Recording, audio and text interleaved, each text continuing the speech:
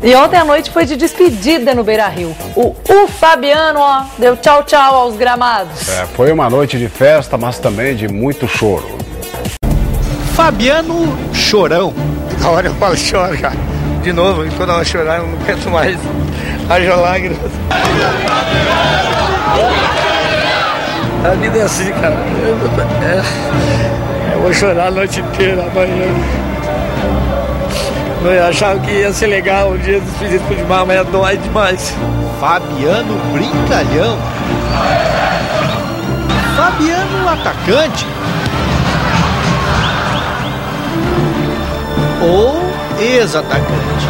Fechou-se a cortina do espetáculo.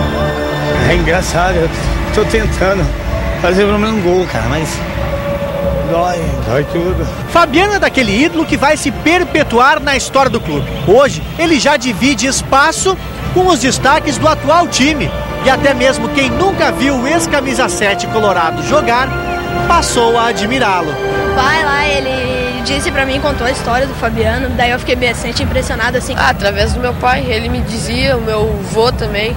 Falou que ele jogou no Inter, eu também vi no YouTube os vídeos dele. Quem viu e vibrou com ele foi a despedida vestindo aquela camiseta do ano de 97. Muita saudade de um futebol que ainda era irreverente, o um futebol força do antigo ponteiro direito que hoje em dia faz muita falta. Na despedida, Fabiano foi mais que um guerreiro. Olha que ele tentou, lutou, fez gol e foi anulado. Se esforçou para marcar de novo, sofreu pênalti. E na hora da cobrança, decepção.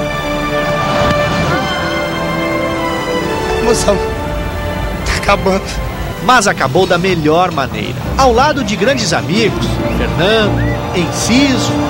Ah, o Enciso, autor daquele lançamento para o gol do título gaúcho de 97, lembra? Jogada para Fabiano em velocidade, pode ser agora, Fabiano bateu. Teve ainda Arilson, Christian, Aliás, Christian tem que agradecer pelos gols que fez naquele ano, graças aos cruzamentos do Fabiano. Foram mais de 20, isso eu tenho certeza, cara. Eles, Sandoval e o Arilson né, foram as minhas grandes bengalas né, naquele ano importante.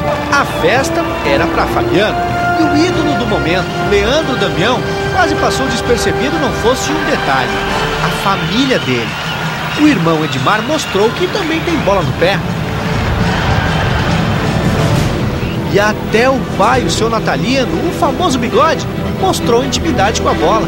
É legal, cara. É um, um se distrair né, as férias. Acho que tem que aproveitar. Acho que tá de parabéns a todos por esse espetáculo que teve aí, o torcedor também por ter por estar aí presente. O time do Leandro Damião acabou perdendo, 8 a 6. Ele fez um golaço. E o Fabiano? Ah, dizem que a vida sempre reserva uma segunda chance, pois o atacante teve a dele e não desperdiçou. O Fabiano pode marcar, foi gol!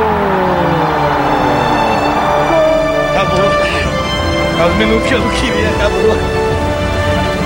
Graças aos meus amigos, valeu gente, pelo tudo. A volta olímpica da despedida foi no carrinho mar.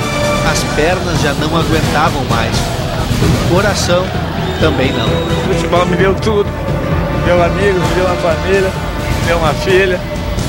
E despedir dos meus amigos orgulho. Pode chorar, Fabiano. Você já fez muita gente chorar de alegria e tristeza nesse estado.